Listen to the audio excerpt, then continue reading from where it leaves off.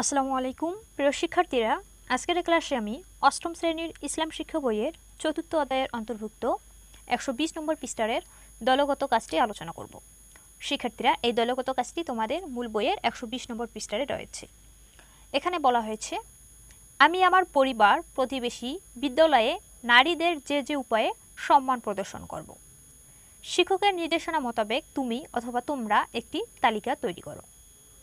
শিক্ষার্থীরা একটি তালিকা তৈরি করতে হবে। সেটা কিসের তালিকা?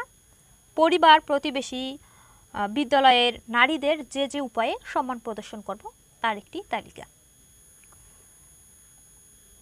তো শিক্ষার্থীরা এখানে দুইটি দেওয়া আছে। আর বাকি যেগুলো আছে, সে ছকগুলো আমি পূরণ করে রেখেছি। চলো এখন তোমরা সেগুলো দেখে নিবে। শিক্ষার্থীরা প্রথম কলামে আছে, যে ক্ষেত্রে সম্মান করব। এরপরে যাকে সম্মান করব, যে উপায়ে সম্মান করব। প্রথমে আছে পরিবার। পরিবারের যাকে সম্মান করব, এখানে আছে মা এবং বোন। পরিবারে মা এবং বোন থাকে। আর পরিবারের সবাইকে আমরা সম্মান করব, তবে যেহেতু এখানে বিশেষভাবে নারীদেরকে বলা হয়েছে, নারীদের মধ্যে যারা আছে তাদের কথা বলা হয়েছে, তো পরিবারে সাধারণত মা এবং বোন থাকে। তাহলে আমরা পরিবারের মা এবং বোনকে সম্মান করব। কীভাবে সম্মান করব? গৃহের কাজে সম্মান করব।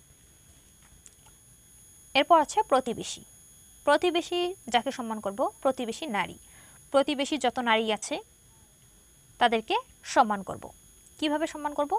কখনো বেয়াদবি করব না, দেখা হলে সালাম দিব। এরপর বিদ্যালয়।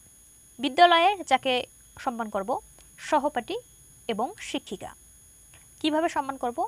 পড়ার কাজে সাহায্য করব দেখলে সালাম দেব।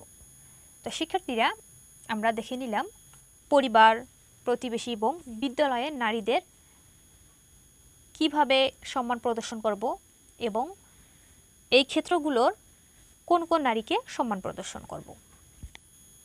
শিক্ষার্থীরা, এরই মধ্য দিয়ে আমাদের একশো বিশ নম্বর পৃষ্ঠারের কাজ শেষ হলো। পরবর্তী ক্লাসে আমরা